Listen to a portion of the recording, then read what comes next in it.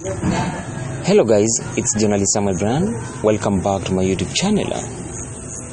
Thousands of mourners on Friday thronged Gunda village in Rusinga Island, Homa Bay County for the burial of renowned videographer Collins Kwalam, who was also a staunch supporter of Gor. The emotional ceremony was attended by several prominent public figures, including Suba North MP Millie Odhiambo, who delivered a special message to the bereaved family from Homa Bay Governor Gladys Wanga. Other distinguished guests who attended the ceremony included Nairobi-based lawyer and politician Brian Waken, who emceed the event, Ohangla Maestro Prince Indah, FC Leopards chairman Dan Shikanda, as well as Gor Mahia treasurer Sally Bolo, who represented club chairman Ambrose Rachier. There was also a huge presence of Gor Mahia fans, many of whom traveled from Nairo- Nairobi. Governor Johnson Sakaja did not attend the ceremony but provided a bus and a van to ferry mourners from Nairobi to Rusinga Island for the burial. The funeral brought Rusinga Island to a standstill as thousands jostled for a space at his final resting place. Kwala, who is said to have never missed a single Gor match in the last decade, died on September 9th in a road accident at Londiani, Kericho County.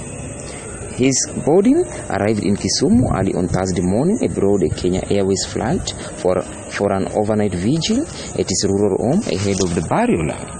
An entourage of mourners from Nairobi caused a traffic snarl-up in Mbita town on Thursday afternoon as they joined the funeral cortege on its way to the late Kwala's final resting place.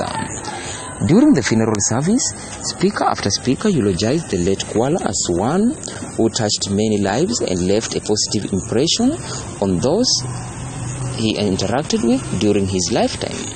Politics also took center stage when Ms. Odhiambo, who was the chief guest, seized the opportunity to lecture former allies of opposition leader Raila Odinga who have shifted their allegiance to President William Ruto. Crowd puller Prince Indah shared a heart-wrench uh, experience of how he learned about Kwala's demise as the deceased was on his way to cover one of his shows in Busia County. Prince recounted his last conversation with the deceased that that tragic evening around 6:45 p.m. while the latter was en route to Busia.